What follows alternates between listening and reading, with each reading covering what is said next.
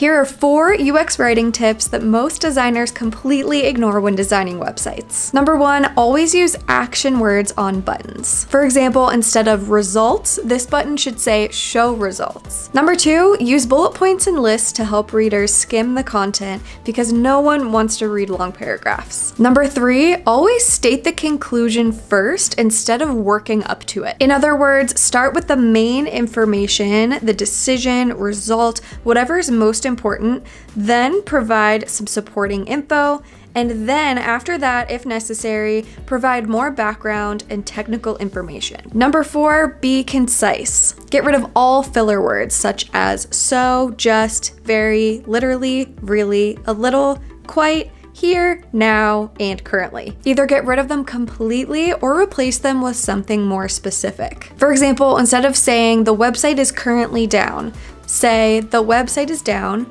or the website will be down until March 24th at 12 p.m. PST.